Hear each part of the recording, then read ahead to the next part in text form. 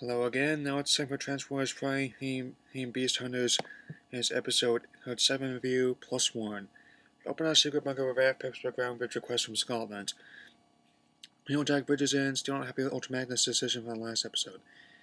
Agent Valhalla picks up Decepticon activity outside Taos, New Mexico. Looks like Blue Beetle shaking things up again. Lucy offers for Wheeljack to go with her, but he refuses. Arcee and Archer promptly call him on this. Grudgingly, Wheeljack decides to go with Arcee which regards his bridge into a legend of Vehicons. So, Wheeljack and vaults RCD to go to work, but off the bat the action scene is well coordinated and animated beautifully. June comes in the bunker, Jack is playing Galaga, thought we wouldn't notice. Turns out Greg Weisman was there. Yes, the Greg Weisman. Gargoyle, Spectacular Spider-Man, Young Justice Greg Weisman.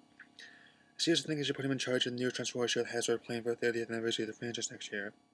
Anyway, June talks to Fowler, or oh, William as she prefers to be called about the medical supplies she needs. My friends know he's a pretty compulsive museum, but just down just ratchet. June fell out to go. Jack isn't sure about this, but they they can handle themselves. Meanwhile, Megatron congratulates Predaking retrieving the fossil, and Naga informs another being found. Megatron says Naga and tells him not to return empty-handed. Stars come down, some knockout reminds him the Apex are stepped away from him. Too fair, Megatron orders Stars to find particular energy signatures. Megatron says Shockwave is including more super soldiers as one of the fossils, a set of beast machines I like that show and we'll get to it. Tries to turn to Predaking by the extras, that is something with Predaking's chew toy. Back we look at Arcee, Arcee's wondering like, why Wheeljack is such a loner. Huh? Why do you stay with Team Prime when he could have just kept driving? Fowler and June had the fossil and are hitting it off. Michael Bay gives us supermodels instead of actresses. Yes, Greg Weisman gives us an interracial relationship in a merchandise-driven show.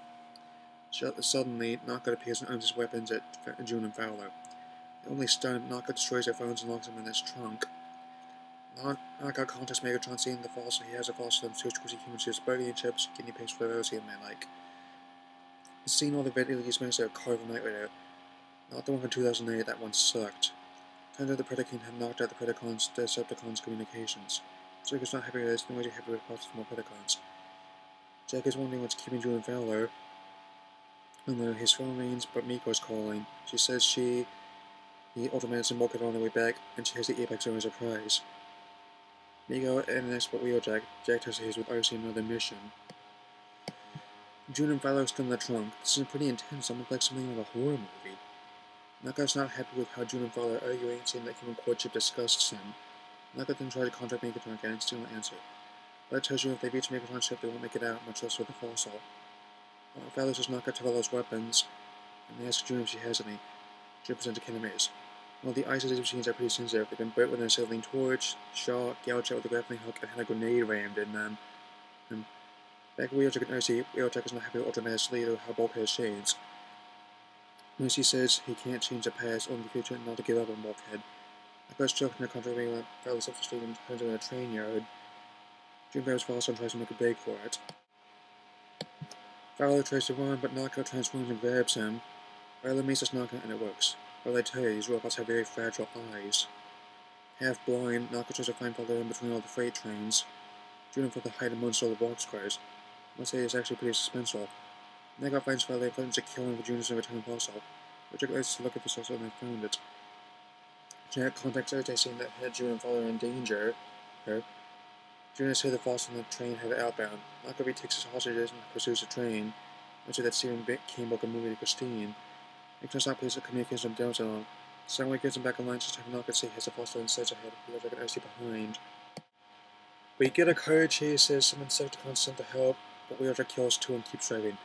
Earth OC picks off another Insecticon but the last one trips up. She kills it, knocks it, gets away a with a fossil and Helldragon, Jim Holmes saves June and Fowler. Which Dragon Ball can make up. Knock up into Fossil Megatron, giving says Predaking broke the communications. As he plays to Megatron, Predaking figures out how to work the database and post out information on his brethren. So now he's become self-aware. So this was a great episode to follow up on the last one. Apart from the action scenes, I enjoyed doing and like getting the episodes for themselves. Also enjoyed Hey Greg Weisman scoop this episode, which has some of the best rating in the entire series. I'm serious, but he's really into a new Transformers show, making for the 30th anniversary of the franchise next year, so how good Young Justice, Spectacular Spider-Man, Gargoyles turn out. So my final rating is 3.5 to 4. So work more to with 52 Pepper special 400 episode. See you, Space Cowboy.